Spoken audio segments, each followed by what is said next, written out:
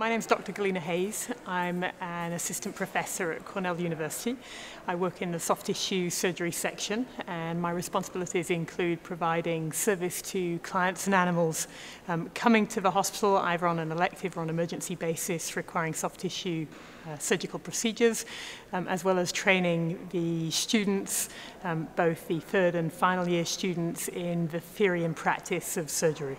Veterinarians are expected to know and do a lot and have a grasp of a very wide range of skills, um, which in my opinion may not be entirely realistic to expect them to accomplish within four years. Their exposure to hands-on surgical training um, may be limited to just a few weeks in their final year of, of um, their DVM training.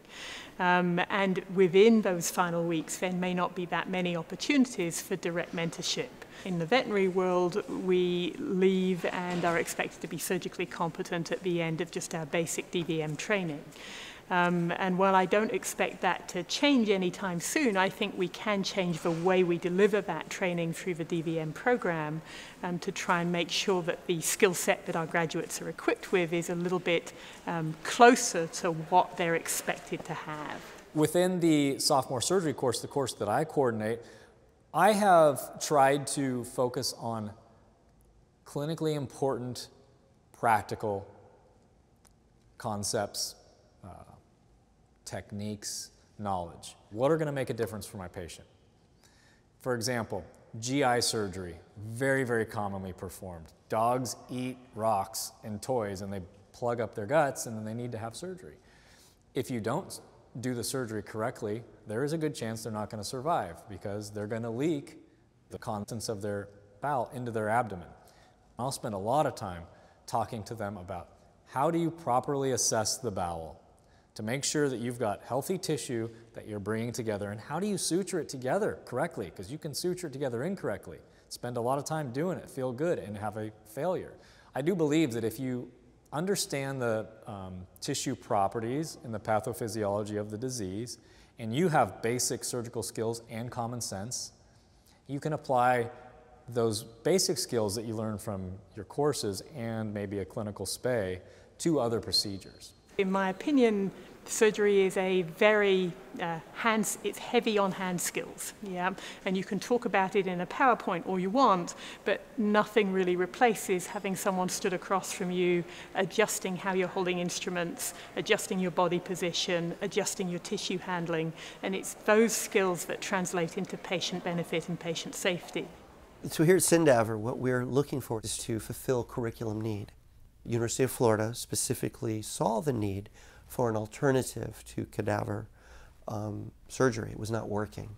And live surgery, too, was something that they did not want to persist with. They had specific curriculum tasks, surgeries that they wanted the students to be able to do that we needed to fulfill in the model. We set up an interview meeting with them. We drove down to Tampa one day. Uh, we pitched an idea to them about using their technologies that they had already you know, developed and had been marketing and applying on the human side for dogs. From a practical perspective, uh, the vascular anatomy, so what, how big is the vessel? Where is the vessel? Is it there or not? Uh, does it connect to the right places? Um, with the uh, texture of the organs, are they, are they stiff, too stiff? Are they too friable or too soft? And now we've spent a lot of time on them and they're beautiful. The liver is very, very close to the texture, the feel, the compressive abilities, qualities. It's vascularized. We have a little bit vascularized of a dog liver. We've got a quite an impressive uh, high fidelity canine now. Yeah, so nice. So the first thing that I'm proud of and, and, like is the fact that it does have a very realistic airway. The, the tongue, as well as the internal aspects of the glottis and all, allows intubation. Um, also, the face, I try to give it kind of kind eyes, and uh, you feel a bit of empathy for the uh, canine as you use it. Second, we do have the ability to put um, IV in both front legs in the cephalic vein. To that, we can also draw blood from those areas. We have jugular veins, it is modifiable, so it allows central line catheterization, but you can draw blood from both sides. It also is a pulse, and you can create anesthetic scenarios where the learning experience can be beyond just what's being done within the dog. In the real world, you've got to worry about their breathing, you've got to worry about their blood pressure, their heart rate, and the dog, because of our ability to have it um, kind of change through a tablet, we can alter heart rate. We can put them in ventricular tachycardia. We can modulate them. Looking into the chest cavity, there is a heart, as well as you can see both lungs and the bifurcation of the trachea. Since this can be intubated and hooked to a respirator, the lungs will expand, and you can, of course, adjust that to enhance the scenario. Conceptually, what we do is, is very simple. You know, we, we start out with a, a live tissue study. So we'll actually you know, get a sample of a tissue, we'll run it through a battery of tests that can be you know, mechanical, physical. They can be things like you know, puncture resistance, coefficient of friction, abrasion resistance, uh, tensile modulus, you know, stretching, pushing, pulling, and measuring the kind of loads you get in response. Uh, you know, then using a knowledge of material science, you can uh, come up with candidate materials to try to mimic all of those things. And you might have 12 different properties that you're trying to mimic. Uh, and through a process of experimentation and designed experiments, you can come up with a material that would be considered a validated mimic for skeletal muscle, for example. Uh, and you know, once you've done that a hundred times, you've got you know materials that you can build an entire body with. Certainly, I think one of the greatest strengths of uh, SynDaver use is in its ability to provide a very um, high fidelity environment for the practice of abdominal surgery in dogs. For me, the intestine in the SynDaver is the closest to live animal uh, dog intestine that I've been able to find. Um, it has very similar layering, it holds suture in a very similar manner, um, it handles the same, um, you can perform the same procedures in it, um, you're working down within a cavity, um, it holds staples in the same way that live dog intestine would. We've really tried to focus on um, two target uh, audiences, if you like. these general practitioners and ER doctors. Probably the highest highest risk procedures that surgeons in that setting um, perform are intestinal procedures, and that there's a, a, a intentional um, emphasis on intestinal procedures for those reasons. So the students are assigned in pairs to a cadaver unit, um, and they each alternate performing different components of the procedure. Um, and then our focus during the lab is to teach them um, gentle tissue handling, efficiency in their use of instruments, how to maintain a flow of productivity through the procedure and not get bogged down in un, sort of unnecessary snarls. Um, and safety, um, how to maintain a sterile field, how to manipulate tissue so they can maintain good visualization. Um, and it's those core skills which they can then take on and apply to pretty much any other procedure that they try and do in the future, but which are impossible to teach in a didactic setting. This leads us to the bladder. And of course, the bladder specifically has a few pathologies itself. There are, in this case, three stones that are palpable within it. This again guides the surgeon to perceive there to be a problem. There's stones there. He doesn't know how many. So he must open the bladder, remove the stones, but thoroughly pass a catheter, clearing it, and then passing it again. You can either create and flip your blade upside down, and just like the linea, do the reverse stab incision up, and then extend with a pair of scissors. Or you can paint down with the blade until you're in the lumen, and then extend with scissors. But I think either of those are fair. Ready.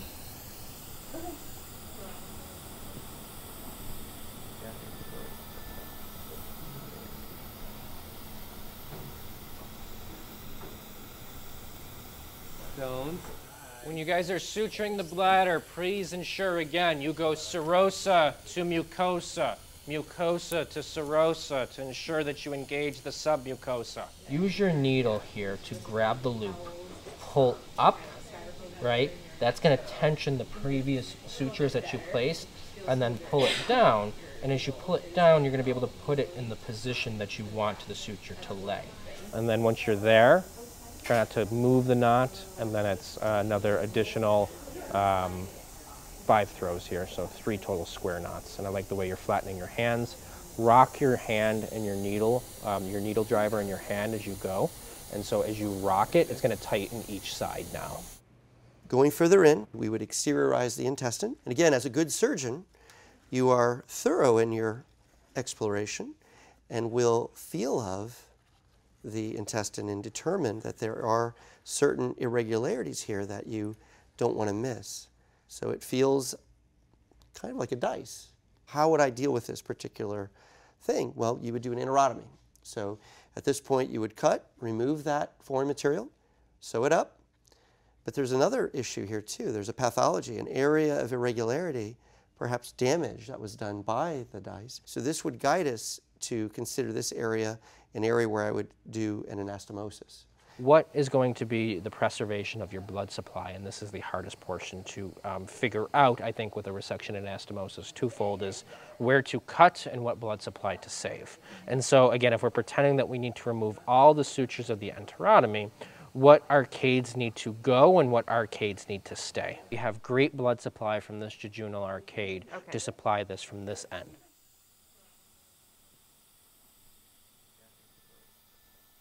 You want to actually pretend like you're placing a suture right. almost at the base of the intestine okay. and ligating and ligating okay. so that it's not bleeding. And it actually is like a very prominent artery that'll spurt at you, um, and so they can be a pain. So I find trying to create an environment for success before you cut the intestine is important. So I think surgery is very much an iterative, cumulative acquisition of skills.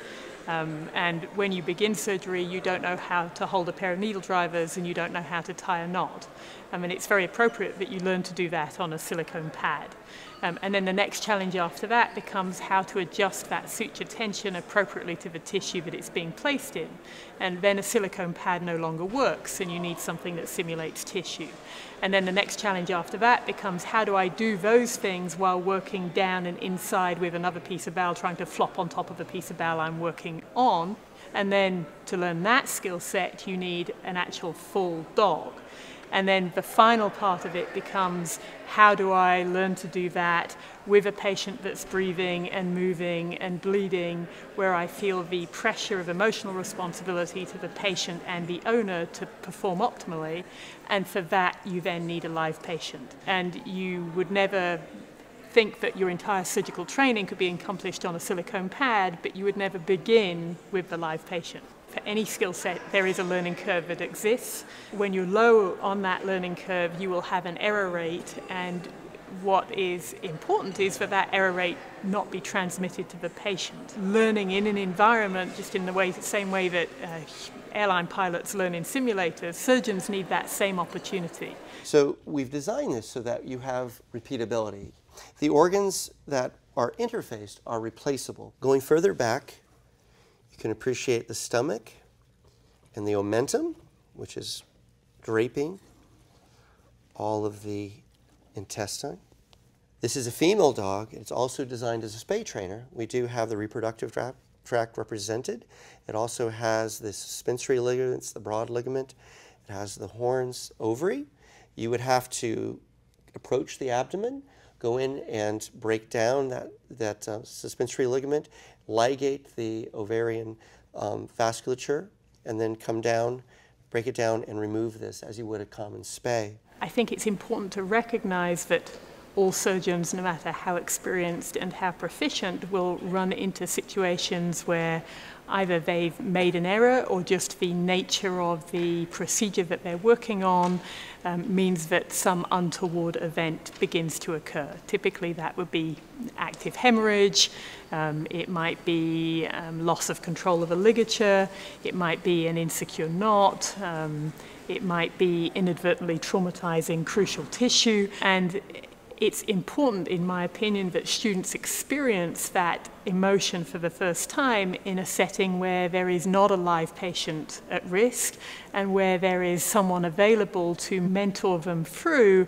how specifically to address that issue. And so that's a, a, great opportunity to give them their first introduction to that emotion and how to handle it, to perform competently under stress. Uh, we're going to set up a clinical scenario where one of their pedicles secondary to a spay that they've been doing um, is now bleeding. The patient is starting to decompensate, their anesthesiologist is panicking in a certain way and kind of set up a high pressure situation for them to try and figure out where the bleeding is and to then stop that bleeding.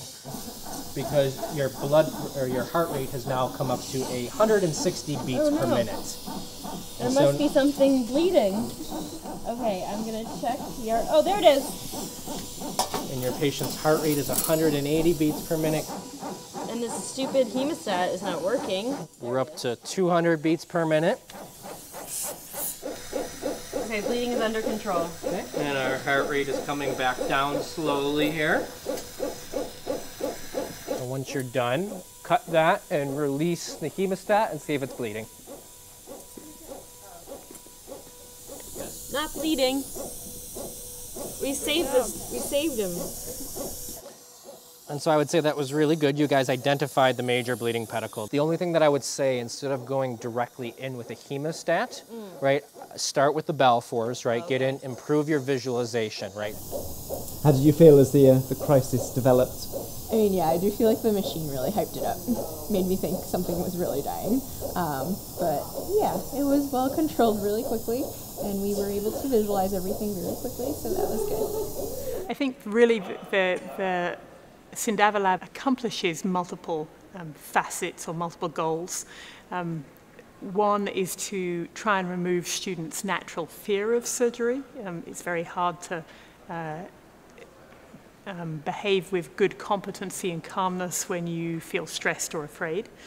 Um, the second is to encourage an enthusiasm for, for the procedures and for surgery in general, and encourage them in the idea that your surgical training is an iterative process.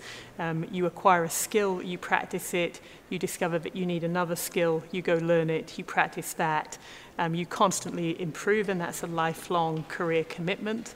Um, and the third is to give them a basic skill set which will translate into any surgical procedure that they undertake. Well, the most difficult thing about getting something like uh, the synthetic canine into practice is, is the cost. We have a number of ways we can do to help uh, you know, universities and different places acquire them. It's an investment. It's definitely an investment. You know, the argument that we make and the argument that's 100% true is that you get superior training. You know, if you really want to be in the business of graduating students that are going to be able to uh, you know, practice and perform surgery, you're doing them a disservice if you don't, you know, invest in this sort of platform. For me, performing that kind of um, surgical training on a live animal which is being used solely for the purposes of training and is then euthanized is unacceptable for a large number of reasons, not the least of which that I believe it inculcates in the beginning surgeon the idea that the patient is disposable. I would not be ever willing to participate in a lab like that. The only uh, use of live animals in uh, the training of surgery at the University of Florida is in our small animal hospital where we have board certified surgeons who are doing clinical surgeries with our professional veterinary students either assisting or watching. I am not a believer in terminal surgery. They don't do it in human surgical training, and I don't, uh, it's my opinion that it's not something that we need to do in veterinary, and I've always felt that way. You can learn good medicine and be ethical at the same time. And I believe in the long run, that will translate to being a better, more empathic doctor, too, because you won't carry that burden.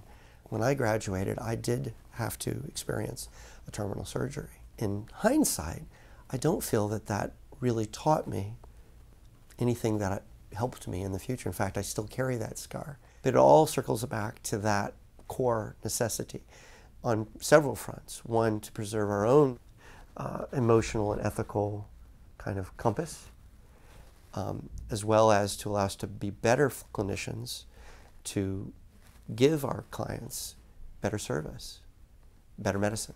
I love caring for animals. I see myself more as a pediatrician than a, than a veterinarian. I see veterinary medicine and the practice of veterinary medicine more about preserving the bond. I feel a great weight of responsibility that the connection between that client and that patient, I mean, that is, that's just pure love. People are appreciating this unconditional love that these companions give. It is really, um, it's a joy for me, actually.